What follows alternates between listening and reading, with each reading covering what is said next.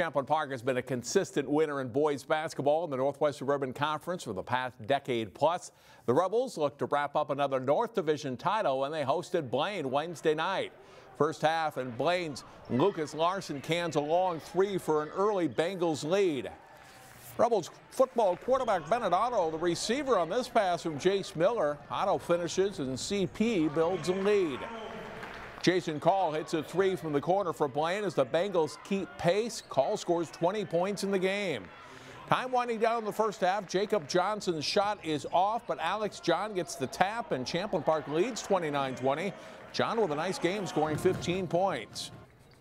Otto knocks the ball loose and then gets the return pass from Cooper Olson. Otto scores for a 45-34 second half lead.